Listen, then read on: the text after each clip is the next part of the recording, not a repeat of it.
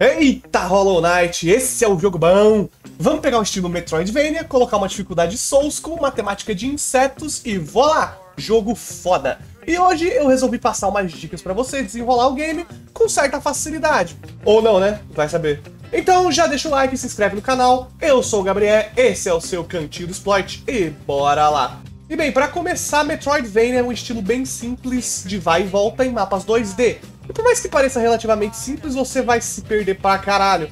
E por isso procurar o Cornifex para comprar mapas é essencial para sua exploração. E assim que você completar o primeiro mapa do game, matando o primeiro boss e aquela moscona mutada, você vai estar tá com mais ou menos 750 de gel. Este que é o dinheiro do jogo, money, money, money. E com isso você pode voltar em Dirtmouth e comprar na loja da mulher do Cornifex todos os itens e ícones para o seu mapa, para que ele não só seja atualizado sempre que você sentar no banco, como também mostrar os ícones de ponto de interesse e o mais importante, comprar o amuleto que mostra onde você tá no mapa. Sério, sem isso aqui é muito tenso saber onde você tá, é muito útil e é bom estar sempre equipado. A próxima dica é se manter sempre de vida cheia. Desde o começo do game, você pode segurar a bola no controle e usar sua mana, né, que é sua alma, para regenerar um ponto de vida. Então, pelo amor de Deus, se tomou um hit, dá heal. Sua mana volta relativamente muito rápido se você bater em inimigos, então é sempre bom estar gastando para regenerar sua vida. E para complementar a dica anterior, você já deve saber que no começo de gameplay é bem mais difícil, porque você não tem nada de upgrade. Apesar de que conforme o jogo avança, sua espadinha vai de ferrão estilhaçado para SBP terrível contra os insetos, se você se encontra na situação um ponto de HP, sem mana, com um gel suficiente para comprar uma mansão e ir lá na casa do caralho, você pode simplesmente sair do game pelo menu, que quando você voltar, você vai estar tá sentado no último banquinho que você esteve e de vida full. Em outras palavras, se você estiver jogando no modo alma de aço, você vai apelar para isso. Sério, isso não é uma opção aqui. É lei. Principalmente em boss battle tensa, já que nesse modo, se você morrer, o seu save morre junto. E falando em dicas clichê, a gente tem o olhar para baixo e bater para baixo. No caso de bater para baixo, te possibilita que caia espinhos. Que caia espinhos, puta merda, que frase troll. E sério, você não sabe o quanto tempo eu fiquei sem saber disso na primeira jogada. Mas, um ponto interessante é, você sabia que dá para acertar espinhos pulando do lado deles? Pois é, o hitbox é insanamente alto, saber disso facilita a vida no game. Principalmente se você estiver fazendo Patch of Pain. Vai por mim, você vai muito usar isso aqui.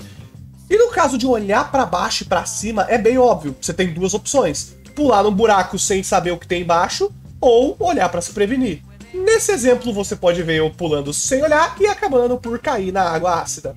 Já no segundo exemplo, eu olho para baixo e pulo de maneira que eu não caia na água só para depois me jogar nela de propósito e foda-se. Outra dica que eu sempre sigo é, se você vê que o jogo tá obviamente te mandando para um caminho específico, tipo, apareceu a Hornet e ela saiu correndo pro lado, você vai para qualquer outro caminho, menos esse. Isso porque os outros caminhos vão te levar a áreas opcionais ou upgrades escondidos, o que te deixa brabo Exploração é o coração de todo Metroidvania, e é claro que nesse jogo não seria diferente, então vai na fé. Agora, em relação aos amuletos do jogo, são eles que vão definir a sua build, digamos assim.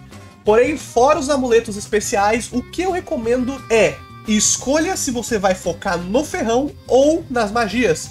E equipe amuleto para melhorar o que você escolheu que o jogo fica muito mais fácil. As magias têm um potencial de dano puro insano e gasta mana, e o ferrão é mais fácil de controlar e tem um DPS bem consistente. Escolha um, meu jovem, eu só posso lhe mostrar as opções, mas é você quem deve escolher. A próxima dica é abandone o medo de morrer. Você é guerreiro, meu jovem. E guerreiro é o cara que vai pra guerra com foco, força e fé, curando machucado na base do cuspo enquanto come todo mundo na porrada. Aqui tá a prova da minha definição. Assim como em Dark Souls, ficar com medo de chefes ou de morrer te faz dificultar muito as batalhas que não são tão difíceis assim. Se você não tivesse medo lutando a 10 km de distância dos bosses, as coisas seriam bem mais fáceis. Porém, isso é algo que você aprende dominando as mecânicas do game, morrendo muito. Então não se frustre. Primeiro, porque você consegue, e segundo, porque relaxa, vai piorar e muito. Sobre boss battles, existe uma que é muito cheatada, que no caso é a batalha contra o defensor do esterco, vulgo besouro rola bosta, que você enfrenta na hidrovia real. Enfim, nessa batalha, se você ficar no cantinho da arena, 90% dos ataques dele não te acertam. E sério, você não tem noção quanto saber disso me ajudou nas batalhas contra as versões do sonho dele. É muito útil. E bem, esse foi o vídeo, espero que tenham gostado. Se gostou, já sabe, dá um likezão, compartilha e se inscreve no canal. Valeu, falou e fui!